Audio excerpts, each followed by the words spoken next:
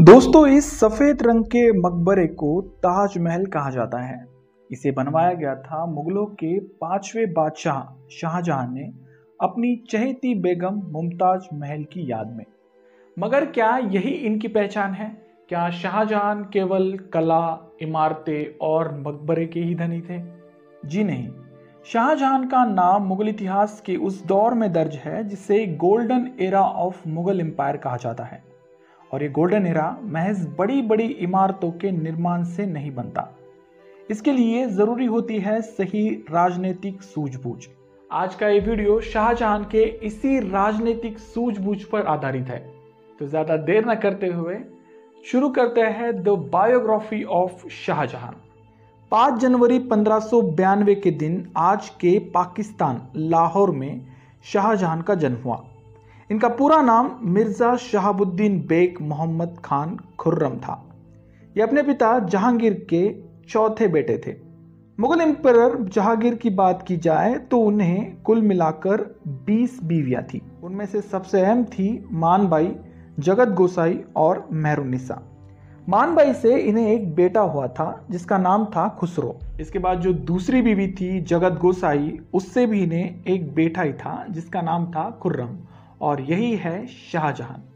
वैसे जहांगीर के और भी बेटे थे, लेकिन इतिहास में बस इन दोनों का ही नाम फ़ेमस है, खुर्रम और खुसरो। तो दोस्तों एज अर्ली स्टेज अगर मैं खुर्रम का नाम लूँ तो आप समझ जाना कि ये शाहजहां है।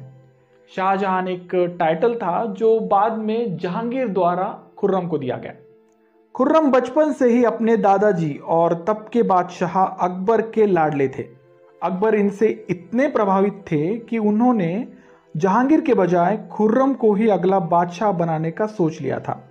कहते हैं कि इन्होंने खुर्रम को अडॉप्ट कर लिया था और उनकी ज़िम्मेदारी उनकी दूसरी बीवी रुकैया बेगम को सौंपी थी। लेकिन ये बस खुर्रम के लिए नहीं था। उनका सौतेला भाई खुसरो भी उनके साथ था। ये इसलिए हो रहा था कि अकबर जहांगीर को अपना आने वाला बादशाह मानने को तैयार ही नहीं थे। क्योंकि उनकी हरकतें ही कुछ ऐसी थी। शराब पीते हुए उन्हें ना दिन का होश रहता और ना रात का। अकबर ने अपने बाकी दो बेटे मुराद और दानियाल को तो पहले ही खोया था। ऐसे में ना उम्मीद जहांगीर से कोई उम्मीद भी नहीं की जा सकती थी। लिहाजा खुसरो और खुर्रम को उसके पास रहने देना तक की बची कुची उम्मीद भी खोना था। बस इसी रीजन की वजह से अकबर ने अपने दोनों पोते को अडॉप्ट कर लिया था। रुकैया बेगम की देखरेख में दोनों ने युद्ध कौशल और पढ़ाई लिखाई सीख ली थी। 1605 में हुई अकबर की मौत के बाद खुर्रम यानी शाहजहां रुकैया बेगम के गार्डियनशिप से आज़ाद हो जाते हैं और वापस चले जाते हैं अपनी सगी माँ जगत गोसाई के पास। मगर उनका सौतेला भाई खुसरो अपनी दादी का मुँह बोली माँ रुकैया बेगम को कभी नहीं छोड़ता है। क्योंकि उसके हिसाब से बादशाह अकबर के जाने के बाद एक वही थी जो उसे तख्त पर बिठा सके। लेकिन ही वॉज़ कंप्लीटली रॉन्ग क्योंकि बादशाह अकबर के जाने के बाद उनके जो बेटे थे जहांगीर, वो तख्त हटियाने में सफल हो गए थे। इसी बीच खुशरो और जहांगीर के बीच लड़ाइयाँ भी हुई, जिसका रिज़ल्ट जहांगीर के पक्ष में गया। ऐसे में खुर्रम जो कि शाहजहां है he played the role of middle man कि भाई अभी भाई और पिताजी एक दूसरे के साथ लड़ रहे हैं, हम बैठ के बस तमाशा देखते हैं। आगे चलकर जहांगीर द्वारा खुसरो को रास्ते से हटा देने के बाद इनडायरेक्टली खुर्रम यानी शाहजहां का काम आसान हो जाता है, क्योंकि ऑब्वियसली आने वाले बादशाह अब वही बनेंगे। मगर ये काम इतना भी आसान नहीं था, क्योंकि जहांगीर की सेकेंड इन कमांड नूर जहाँ शाहजहां को कतई पसंद नहीं करती थी। नूरे जहाँ जहांगीर की बीसवीं और सबसे चहेती बेगम थी। आगे चलकर वो समय भी आया जब वो जहांगीर के एकदम बराबर हो गई। ऐसा कहा जाता है कि जो शाही फरमान हुआ करते थे, उसमें जहांगीर के साथ साथ नूरे जहाँ की भी मोहर लगाई जाती थी। तो इसी से आप समझ सकते हैं कि नूरे जहाँ मुगल पॉलिटिक्स में किस तरह से इन्वॉल्व थी।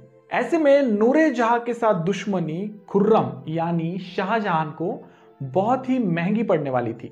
खैर at a younger age Khurram was joint Mughal army वे गजब के वॉरियर थे।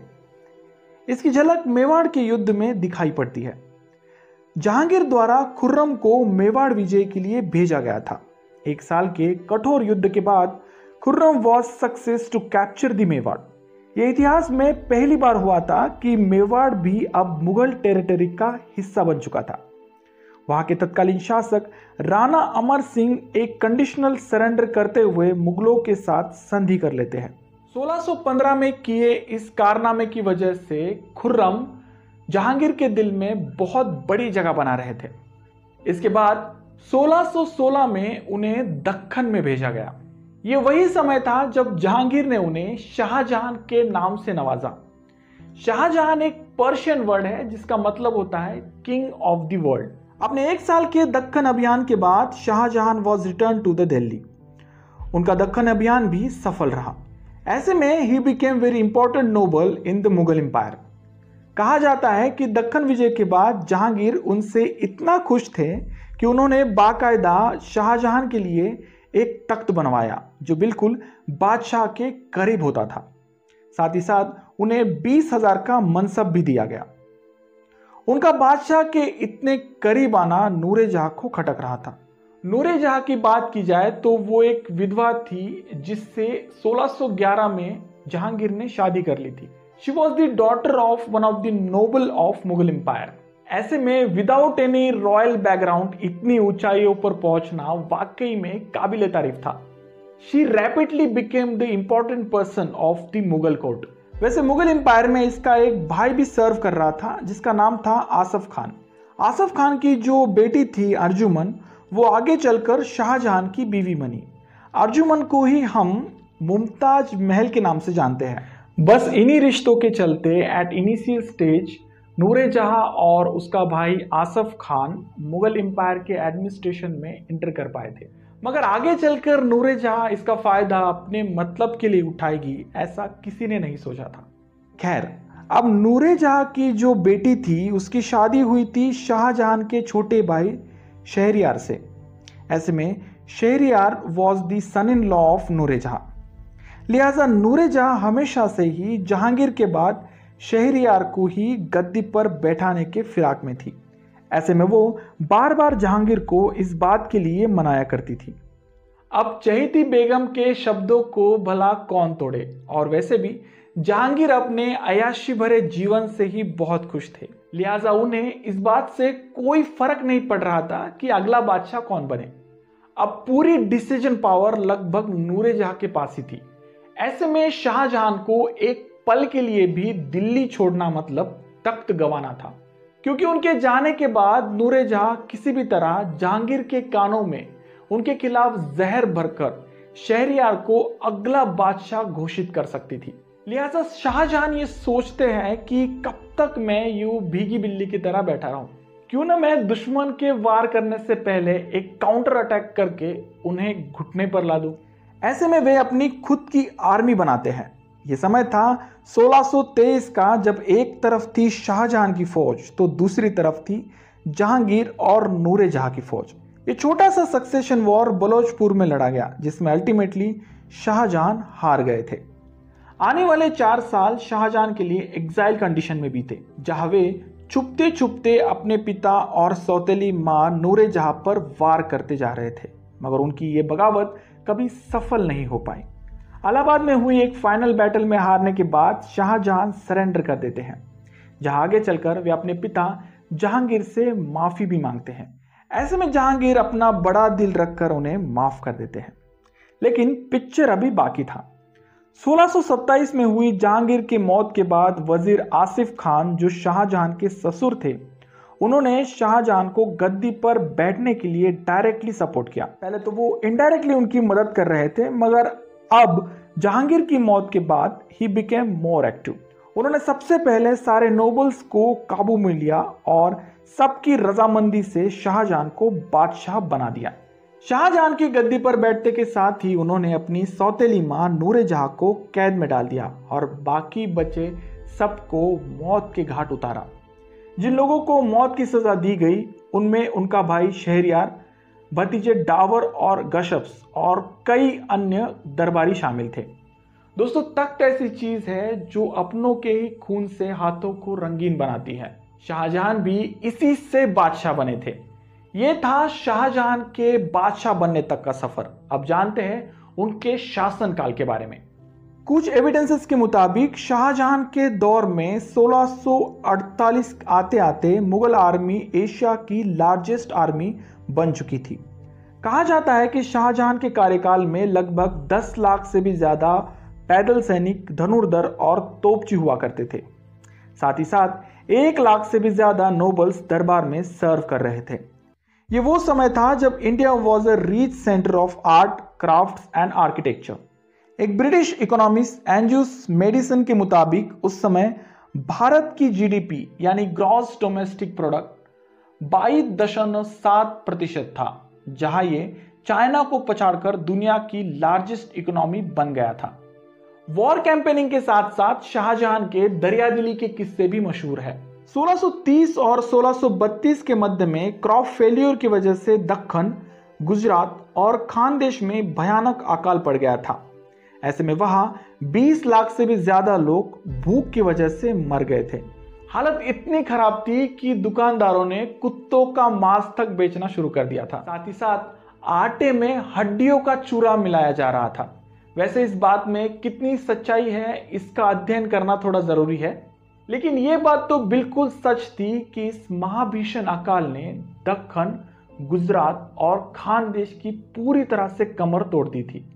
ऐसे में शाहजहां एक मसीहा बनकर इन लोगों की मदद करने आगे बढ़ते हैं। कहा जाता है कि उन्होंने इन पीड़ितों को अकाल से बचाने के लिए मुफ़्त में लंगर शुरू किया, जहाँ लाखों टन खाना पकाया जाता था। शाहजहां की सक्सेसफुल मिलिट्री कैंपेन्स में से सबसे अहम थी दक्खन में मौजूद अहमदनगर, गोलकोंडा और बीजापुर को अपने कब्जे में लेना। सबसे पहले 1632 में Shahjahan was captured the Daulatabad fort वहाँ मौजूद हुसैन शाह को घुटनों पर लाकर ही move toward the Golconda and Bijapur. अब निज़ाम शाही के सुल्तान हुसैन शाह को पानी पिलाने के बाद भला उनकी क्या मजाल? ऐसे में, इन 1635 को गोलकोंडा और 1636 में बीजापुर मुगल सल्तनत के सामने सरेंडर कर देते हैं। हालाँकि सारे वॉर कैंपेन का श्रेय शाहजहां के बेटे औरंगज़ेब को देना चाहिए, क्योंकि at that time he was the commander of Mughal army इस विक्ट्री के बाद Shahjahan became the great emperor of Mughal empire मगर इतिहास गवाह है, जो उगता है, वो डूबता भी ज़रूर है। 22 जनवरी 1666 का वो दिन, जब शाहजहां ने अपने ही कैद खाने में आखिरी सांस ली।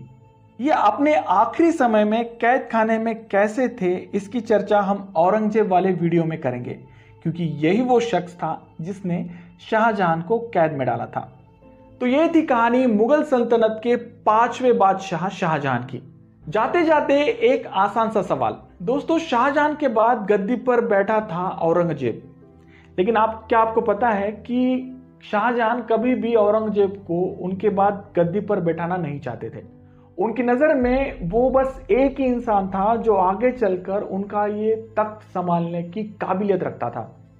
ऐसे में उस इंसान का नाम क्या था? कमेंट बॉक्स में ज़रूर लिखिए।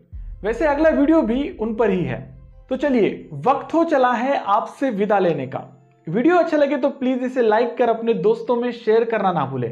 और हाँ आपको अगर मेरा काम और मेरा नरेशन अच्छा लगता है तो प्लीज़ चैनल को सब्सक्राइब कर देना। मिलते हैं अगले वीडियो में ऐसे किसी हिस्टोरिकल और इंटरेस्टिंग टॉपिक को लेकर। तब तक के लिए धन्यवाद।